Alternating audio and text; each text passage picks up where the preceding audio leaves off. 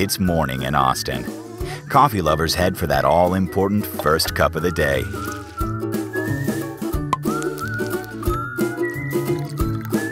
This morning, we're secretly switching the Tomlinsons' usual morning coffee with craft roasted cuvee coffee. Can they tell the difference? Ooh.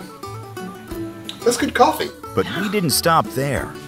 We switched their normal creamer with Cuvée Black and Blue Cold Brew Coffee. Can she tell the difference? Coffee?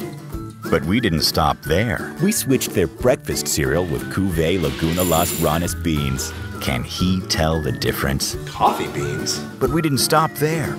We switched their beloved family dog with a 12 ounce bag of Cuvée Meritage. Can they tell the difference?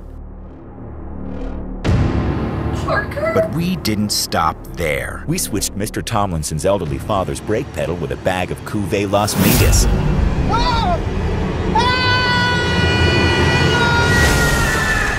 Can he tell the difference? What hospital is he in? What's his condition? Oh, God! But We didn't stop there. We switched Mrs. Tomlinson's teeth with Cuvée Hunapu Oh my coffee God! beans. But Hello? we didn't stop Hello? there. Oh, oh God! stop there. But we didn't stop there.